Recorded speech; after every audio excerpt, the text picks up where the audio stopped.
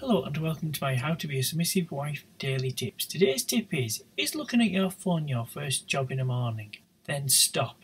Facebook and Instagram will still be there tonight when all your chores are completed. When was the last time you spoke to your husband over the breakfast table? Concentrate on your marriage and not your social media accounts. Put your phone away. Work on your marriage and not your social media accounts.